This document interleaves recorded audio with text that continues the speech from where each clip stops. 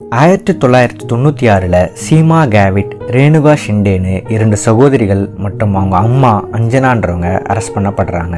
Arrest பண்ணப்பட்ட ஒரு வருஷத்தில் அவங்க அம்மா அஞ்சனா ஜெயிலேயே உடல்நலவு குறைவால் இறந்து போயிடுறாங்க. ரெண்டாயிரத்தி ஒன்றில் செஷன்ஸ் கோர்ட் சீமா மற்றும் ரேணுகா ஷிண்டேக்கு தூக்கு தண்டனையை தீர்ப்பாக தருது இந்த தீர்ப்புக்கு மேல்முறையீடு பண்ணி திரும்பவும் ரெண்டாயிரத்தி நாலில் ஹைகோர்ட்டும் தூக்கு தண்டனை தான் சரியான தீர்ப்புன்னு சொல்கிறாங்க திரும்பவும் சுப்ரீம் கோர்ட்டில் மேல்முறையீடு பண்ணுறாங்க ரெண்டு வருஷம் கேஸுக்கு அப்புறம் அங்கேயும் தூக்கு தண்டனை தீர்ப்பையே கன்ஃபார்ம் பண்ணுறாங்க இதுக்கப்புறம் வேற வழியே இல்லை. ஒருவேளை இந்திய குடியரசுத் தலைவர் மனசு வச்சா ஒரு கடைசி வாய்ப்பு. தூக்கு தண்டனை தீர்ப்பை தள்ளி போட சொல்லி சொல்லி ரெண்டாயிரத்தி பதினாலு வரைக்கும் தப்பிச்சு வந்துட்டாங்க. கடைசியா குடியரசுத் தலைவரும் இவங்க கருணை மனுவை நிராகரிச்சிட்டாரு. இந்த கேஸை பத்தி ஒருவேளை நீங்க இதுக்கு முன்னாடி கேள்விப்பட்டிருக்கலாம். அப்படி இல்லைன்னா இது வரைக்கும் நான் சொன்னதை வச்சு நீங்க உங்க மனசுல என்னடா ரெண்டு பொண்ணுங்க அப்படி பெருசா என்ன தப்பு பண்ணியிருக்க போறாங்க? இவ்வளோ மேல்முறையீடு பண்ணி இத்தனை வருஷத்துக்கு அப்புறம் அவங்களுக்கு தூக்கு தண்டனை தரணுமான்னு உங்க மனசுக்குள்ள சின்னதா ஒரு கருணையோடு யோசிச்சிருப்பீங்க. அவசரப்பட்டு அப்படி ஒரு முடிவுக்கு வந்துடாதீங்க நான் சொல்ல போகிறத முழுசாக கேட்டுட்டு முடிவு பண்ணுங்க. வணக்கம் நண்பீஸ் அண்ட் நண்பாஸ் இது டேல் ஸ்போர்ட். நான் உங்கள் டிகே தூக்கு தண்டனை கைதிகளுக்கே நம்ம மனசில் கொஞ்சம் இறக்க வருது. அதில் இவங்களுக்கு ஒரு துளி இருந்திருந்தா கூட இன்றைக்கி இந்த நிலைமைக்கு வந்திருக்க மாட்டாங்க. கருணனா இவங்களுக்கு என்னன்னே தெரியாதவங்க. இவங்களோட வாழ்க்கையின் இந்த நிலைமைக்கு காரணம் இவங்களோட அம்மா அஞ்சனா தான். அஞ்சனா தன்னோட சின்ன வயசுலேருந்தே தன்னை சுற்றி இருக்கிற பொருளுங்களை திருடுறதே ஒரு பழக்கமாக வச்சுருந்தாங்க. அவங்களுக்கு கல்யாணம் ஆனதுக்கு அப்புறமும் அவங்க அதையே தான் தொடர்ந்து பண்ணிட்டு வந்தாங்க. கூட்டம் எங்கே அதிகமாக இருக்கோ அந்த மாதிரி இடங்கள்ல பிக் பாக்கெட் செயின் ஸ்நாச்சிங்னு அப்பப்போ திருடிட்டு இருந்தாங்க. இது அவங்களோட கணவருக்கு கொஞ்சம் கூட பிடிக்காம எவ்வளோ அட்வைஸ் கொடுத்தும் அவங்க திருந்துற மாதிரி தெரியல. இவங்க ரெண்டு பேருக்கும் பிறந்த முதல் குழந்தை தான் ரேணுகா. அதுக்கப்புறம் அஞ்சனாவோட கணவர் அவங்கள விட்டுட்டு பிரிஞ்சு போயிட்டுறாரு இதுக்கப்புறம் அஞ்சனா முழு நேரமும் திருட்டு தொழில ஆரம்பிச்சிட்டாங்க. இந்த மாதிரி அவங்க சின்ன சின்னதாக திருடி கிட்டத்தட்ட நூற்றி இருபத்தஞ்சு பெட்டி கேசஸ் அவங்க மேலே இருக்கு. இதுக்கப்புறம் இவங்க மோகன் ஒருத்தரை மீட் பண்ணி அவரை கல்யாணம் பண்ணி இன்னொரு பெண் குழந்தையும் பிறகுது. அவங்க பேரு தான் சீமா.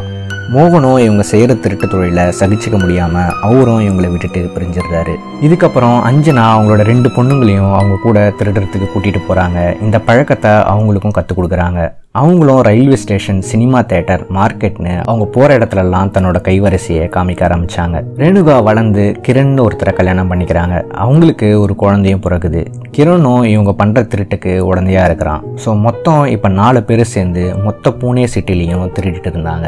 அப்படி ஒரு நாள் ரேணுகா தன்னோட கை குழந்தையோட ஒரு கோவிலில் திருடும்போது கையும் குளமாக பிடிபடுறா. அவன் மாட்டினதும் அவளை சுற்றி கூட்டம் கூடி அவளை திட்ட ஆரம்பிச்சிட்டாங்க. பட் ரேணுகா கையில் குழந்தை இருந்ததால் அவனா என்னோட குழந்தை குழந்தைக்காக தான் திருடினேன் நான் வேற எந்த தப்பும் செய்ய முயற்சிக்கல. என்னோட குழந்தை பசியால் தவிக்குதுன்ற காரணத்தினால தான் திருடினேன் அப்படியே அழுது அங்கிருந்தவங்க முன்னாடி சாமர்த்தியமா நடிச்சு ஏமாத்திட்டா. குழந்தைய பார்த்த அந்த மக்கள் கருணப்பட்டு அவளை அங்கிருந்து போக சொல்லிட்டாங்க. எந்த ஒரு போலீஸ் கம்ப்ளைண்ட்டும் அவன் மேல கொடுக்கல. நல்லா ஞாபகம் வச்சுக்கோங்க மக்கள் இப்போ இங்க இந்த கருணையை காமிக்காம இருந்திருந்தா இனிமேல் நான் சொல்ல போற கொடூர சம்பவங்கள் எதுவும் நடந்திருக்காது. ஒருவேளை நீங்க வீக் காட்டடா இருந்தீங்கன்னா இதுக்கு மேல இந்த வீடியோவை பார்க்காதீங்க. இந்த ஒரு சம்பவத்தை ரேணுகா தன்னோட அம்மா அஞ்சனா மற்றும் அவரோட சகோதரி சீமா கிட்ட சொல்றா. அவங்களுக்கே அப்பதான் ஒரு யோசனை வருது. நம்ம திருடும் போது நம்ம கையில ஒரு கை குழந்தை இருந்தா அதையே காரணமா காமிச்சு தப்பிச்சிடலான்னு முடிவு பண்றாங்க. ஆனா அவங்க கிட்ட இப்போ ஒரு குழந்தை தான் இருக்கு. இன்னும் ரெண்டு குழந்தை இருந்தாதான் திருட வசதியா இருக்கும்னு பிளான் பண்றாங்க.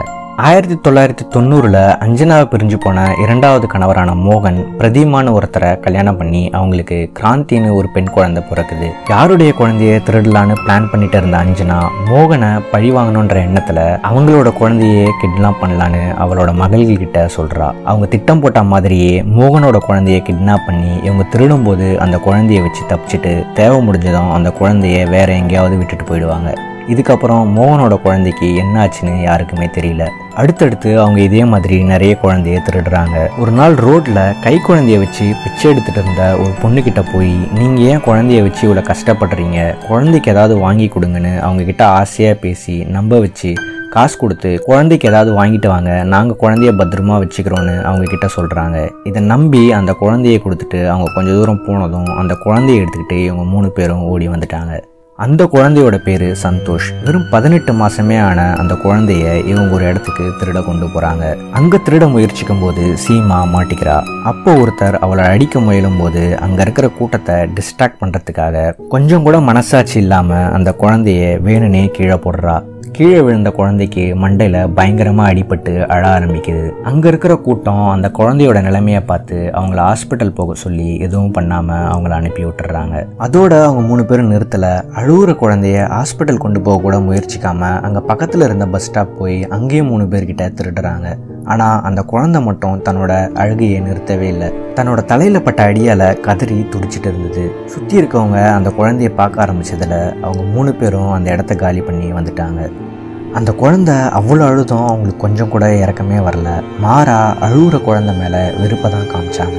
ஆள் நடமாட்டம் இல்லாத ஒரு இடத்துக்கு போய் இதுக்கப்புறம் இந்த குழந்தை நம்ம கிட்ட இருந்தா இது அழுதே நம்மளை காட்டி கொடுத்துருன்னு முடிவு பண்ணி இந்த குழந்தை நமக்கு இதுக்கப்புறம் தேவைப்படாதுன்னு சொன்ன அஞ்சனா அந்த குழந்தைய வாங்கி அங்கிருந்த ஒரு அயன் போல் கிட்ட போய் அந்த குழந்தையோட தலையை அதில் இடிச்சு இடிச்சு கொடூரமாக கொலை பண்ணி தூக்கி விசுறா. அங்கிருந்த ஒரு அடிப்பம்பில் தன் மேலே பட்ட ரத்தக்கரையை கழுவிட்டு மூணு பேரும் அங்கிருந்து கிளம்பி போயிடுறாங்க. ஆயிரத்தி தொள்ளாயிரத்தி தொண்ணூத்தொன்னில் ஒம்பது மாதம் கை குழந்தைய இதே மாதிரி திருடி அவங்களோட தேவைக்கு பயன்படுத்திட்டு அந்த குழந்தை பசியில் அழும்போது கூட கொஞ்சமாக இறக்கப்படாமல் அந்த குழந்தையையும் அடித்து துடிக்க துடிக்க கொள்கிறாங்க பாவனான்னு இன்னொரு குழந்தை சந்தோஷோட அதே வயசு தான் இருக்கும். திருடி தங்களோட வேலை முடிஞ்சதும் அதையும் கொன்று ஒரு ஹேண்ட்பேக்கில் பண்டில் பண்ணி ஒரு சினிமா தேட்டர் லேடிஸ் டாய்லெட்டில் வச்சுட்டு போயிடுறாங்க. இதே மாதிரி ஆயிரத்தி தொள்ளாயிரத்தி தொண்ணூற்றி மூணில் ரெண்டு குழந்தைங்க ஆயிரத்தி தொள்ளாயிரத்தி தொண்ணூற்றி நாலில் ரெண்டு குழந்தைங்கன்னு தங்களோட கணக்கை அதிகரிச்சுட்டே போயிருந்தாங்க. ஆயிரத்தி தொள்ளாயிரத்தி தொண்ணூத்தஞ்சில் பங்கஜ்னு ஒரு நாலு வயசு குழந்தைய திருடுறாங்க. அந்த பையன் ஒருவேளை தப்பிச்சிட்டா அவனால் பேச முடியும் இவங்களெல்லாம் அடையாளம் காமிக்க முடியும்னு அவனை தலைகீழ கட்டி தொங்க விட்டு அவனை அடித்து துன்புறுத்தியே கொலை பண்ணுறாங்க ஆயிரத்தி தொள்ளாயிரத்தி தொண்ணூற்றி ஆறில் திரும்பவும் தன்னோட முன்னாள் கணவரான மோகனோட இரண்டாவது குழந்தையும் திருட பிளான் பண்ணுறாங்க ஆனால் அது எப்படியோ மோகன் மனைவி பிரதிமாவுக்கு தெரிய வந்து இவங்க மேலே சந்தேகப்பட்டு போலீஸ் கம்ப்ளைண்ட் பண்ணுறாங்க போலீஸ் இவங்கள முதல்ல அரெஸ்ட் பண்ணி விசாரிக்கும் போது மூணு பேரும் வாயே திறக்கல. குறிப்பாக அஞ்சனா கிட்ட இருந்து ஒரு வார்த்தையை கூட வாங்க முடியல.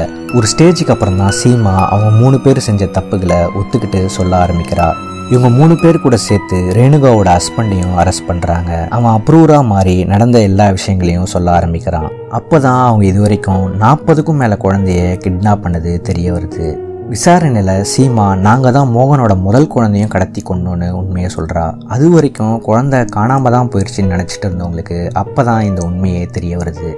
கடத்தப்பட்ட நாற்பது குழந்தைங்களில் ஒம்பது பேர் கொல்லப்பட்டிருக்காங்க. ஆனால் போலீஸால் ஆறு குழந்தைங்களோட டெத்தை மட்டும்தான் கோர்ட்டில் ப்ரூவ் பண்ண முடியுது. ஆயிரத்தி தொள்ளாயிரத்தி தொண்ணூற்றி ஏழில் விசாரணையில் இருக்கும்போதே ரேணுகா சீமாவோட அம்மாவான அஞ்சனா ஜெயிலே இறந்துடுறாங்க. ரேணுகாவோட கணவர் அப்ரூவராக மாதிரி நிறைய சாட்சியங்களை இவங்களுக்கு எதிராக தந்ததால் போலீஸால் இந்த கேஸை ஈஸியாக கோர்ட்டில் ப்ரூவ் பண்ண முடியுது. பரபரப்பான இந்த கேஸுக்கு ஒரு வழியாக கொல்ஹாப்பூர் செஷன்ஸ் கோர்ட் ரெண்டாயிரத்தி ஒன்றில் இவங்க ரெண்டு பேருக்கும் தூக்கு தண்டனையை தீர்ப்பாக வழங்குது. இந்த தீர்ப்பை நாடே ஒரு பக்கம் கொண்டாடினாலும் கருணையே இல்லாத இவங்களுக்கு வழக்கம் போல ஹியூமன் ரைட்ஸ் சப்போர்ட் பண்ணி இவங்க தண்டனைக்கு எதிராக போராடிச்சு. ரேணுகாவும் சீமாவும் நடந்த கொலைகள் எல்லாமே அவங்களோட அம்மா பண்ண சொல்லி தான் நாங்கள் பண்ணதாகவும் ஹைகோர்ட்டில் மேல்முறையீடு பண்ணுறாங்க பட் குழந்தைங்களை துன்புறுத்தி கொண்டதுக்கான எல்லா சாட்சியங்களும் தெளிவாக இருக்கிறதுனால அவங்களுக்கு தூக்கு தண்டனை தான் கரெக்டான தீர்ப்புன்னு சொல்கிறாங்க நம்ம நாட்டில் ஒரு சட்டம் இருக்குது அதன்படி அப்ரூவராக மாறுறவங்களுக்கு அதிகபட்ச தண்டனையை வழங்கக்கூடாது. அப்படி கொடுத்தா யாரும் இதுக்கப்புறம் அப்ரூவராக மாற மாட்டாங்களாம். அதன்படி அப்ரூவரான ரேணுகாவின் கணவருக்கு ஜெயில் தண்டனை மட்டும் கொடுக்கப்படுது. அதுக்கப்புறம் தான் அவங்க சுப்ரீம் கோர்ட்லேயும் மேல்முறையீடு பண்ணி அங்கேயே நிராகரிக்கப்பட்டு குடியரசுத் தலைவரும் கருணை மனுவை நிராகரிக்கிறாரு. ஆனாலும் அவங்க தூக்கு தண்டனையை தள்ளி போட சொல்லி சொல்லி இன்னைக்கு ரெண்டாயிரத்தி இருபது ரெண்டாயிரத்தி ஒன்றில் கொடுக்கப்பட்ட தீர்ப்பு இன்னைக்கு வரைக்கும் அது நிறைவேற்றப்படாமல் அப்படியே தள்ளி போடப்பட்டு வந்திருக்கு. அஃபிஷியலாக இந்த கேஸை பற்றின எந்த ஒரு அப்டேட்ஸும் இப்போ இல்லை. ஒருவேளை இவங்கள தூக்கில் போடப்பட்டிருந்தா ஆயிரத்தி தொள்ளாயிரத்தி ஐம்பத்தஞ்சுக்கு அப்புறம் இவங்க தான் அஃபிஷியலாக தூக்கில் போடப்பட்ட முதல் பெண்களாக இருந்திருப்பாங்க. இவங்கள மாதிரியே இந்தியாவில் பதிமூணு பெண்களுக்கு தூக்கு தண்டனை விதிக்கப்பட்டிருக்கு. அது பல்வேறு காரணங்களுக்காக நிறைவேற்றப்படாமல் அப்படியே தள்ளி போடப்பட்டு வந்திருக்கு.